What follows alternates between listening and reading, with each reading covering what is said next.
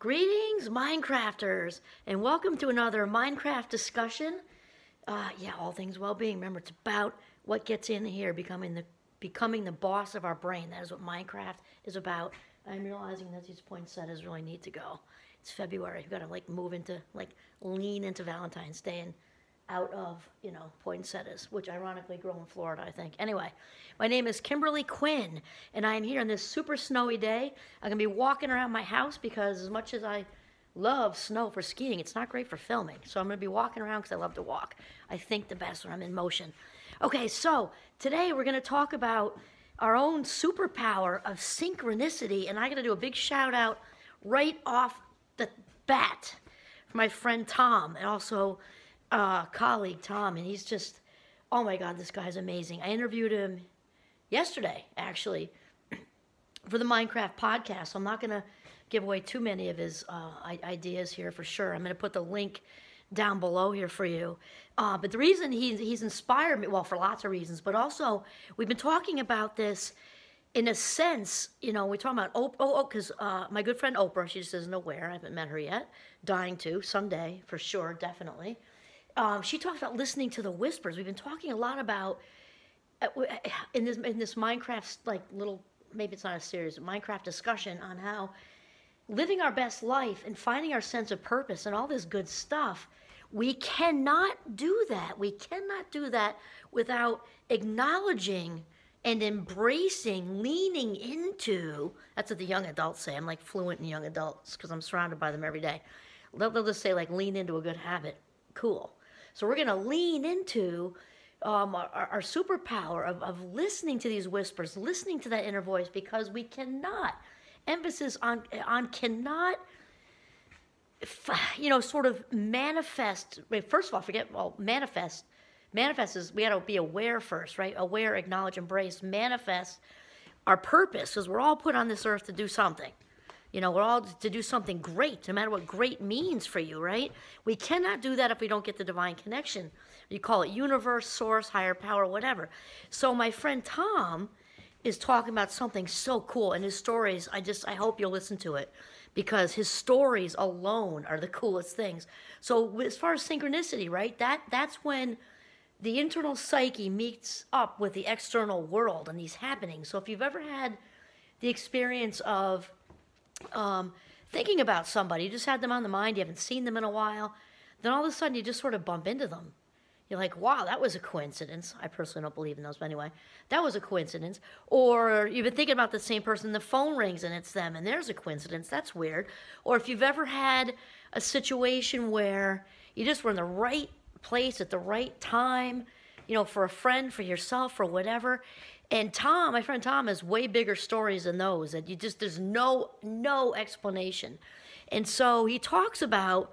I'm not going to give those away because I'm going to put the link down below. But he talks about there are, there are three specific components that really make up most of the experiences of synchronicity. And he actually did research on this stuff. And he told me the person, the people that he interviewed and stuff, they just they couldn't even shut it off because they're like, oh my God, you can't believe this happened. Blah, blah, blah, so there's three components, and they talks about the head, the heart, and the hands. So I'm not going to give you that juice either. I want you to listen to it because it's that that freaking good. Oh my God.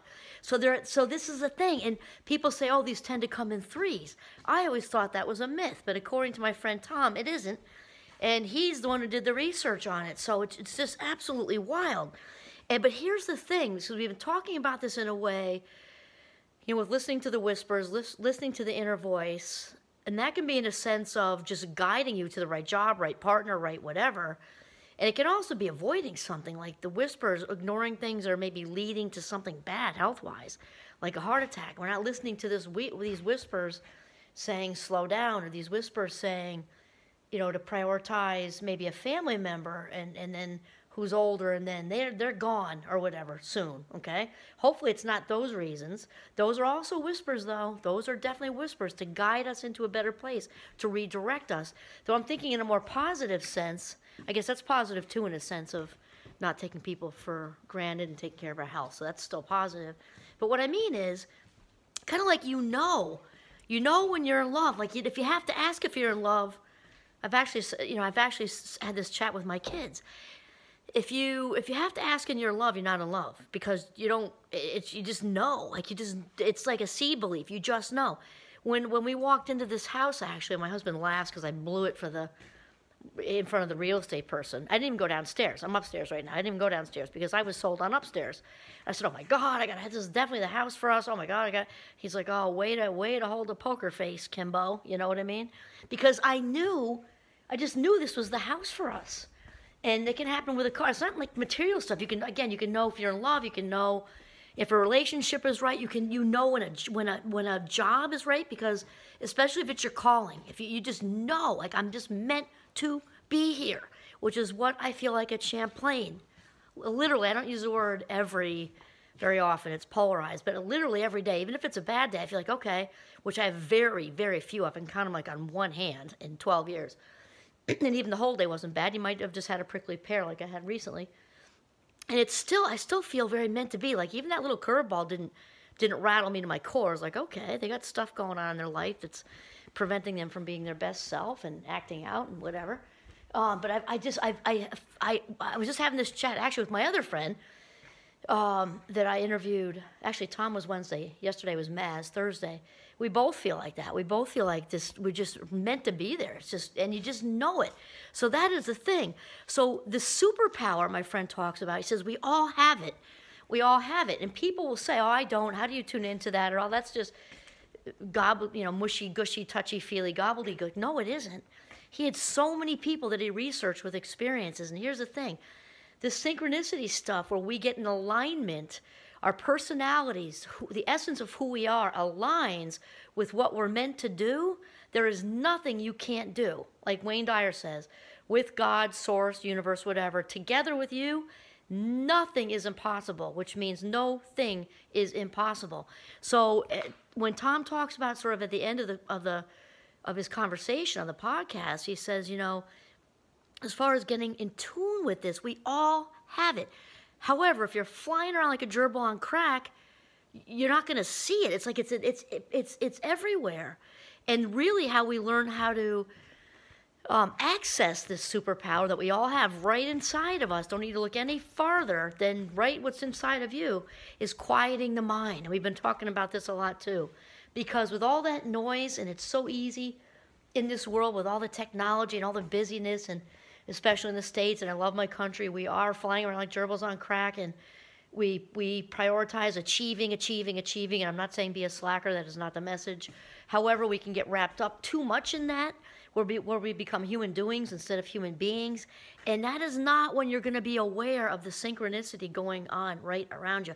I mean, I've bumped into friends in Manhattan. Think of the chances of that. In fact, I bumped into a good friend uh, from Champlain on the cliffs of Moher. Thankfully, we didn't bump real estate, or you know, but we bumped it. Imagine that we both we knew we were in Ireland, but we were on opposite sides of the country. Never knew that we were going there that day, and think of the timing like she could have been in the restroom. I could have been in the restroom. It was very crowded in that cafeteria where we saw her husband. We could have parked. It could have been just five minutes off. Like if we left five minutes earlier or she left or got there five minutes later, like it was milliseconds that would have changed that whole thing. And we ended up actually bumping into a friend from Champlain at the Cliffs of Moher in, in Ireland. That's nuts. Cannot explain it. Milliseconds could have changed it. Or if we just walked down that hallway instead of this hallway or whatever.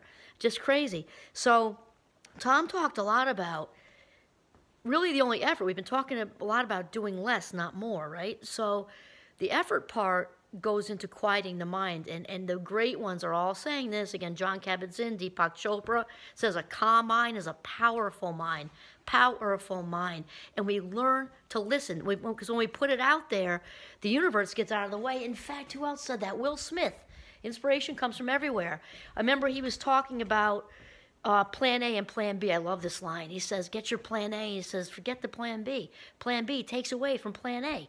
He says, Just just you, you got to believe it like they're all saying wayne dyer oprah will smith all of them got to believe it and then what will smith said is the universe will just get out of your way kind of like when you dig that hole down by the beach you dig, and then the water fills in. It's just like it's going to fill you up, fill up your life. Everything is just going to come together because that's just how it works.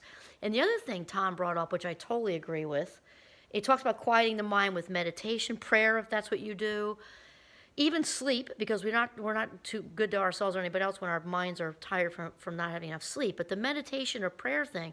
So he also talks about how these answers in life direction often is crystal clear when we are in a place that's vulnerable. And I can tell you from my own life, we have to do about probably six other videos to tell all the stories, but wow.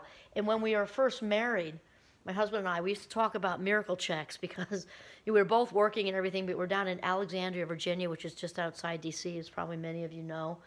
And it was just expensive. And every once in a while, we would literally, you know, we were in our early 20s, got married like right out of the gate, out of college, basically. And, you know, we'd be like short on this, even though we're both working full tilt and all that. And then there'd be like some weird check would come from everybody in the insurance pool. No one got a ticket, or and then you got like an extra hundred dollars, and that felt like a hundred hundred million at that time because we were newlyweds and we had our son, um, you know, just like a year and a half after getting married, and then we could pay the electric bills and miracle checks. My husband calls them that still, miracle checks. And they just like when you're vulnerable, stuff just happens, or that person walks through the door. I've had a million stranger experiences when I've been lost. I should actually say I'm misplaced. I'm not really lost. I'm kind of just, I wander around a lot.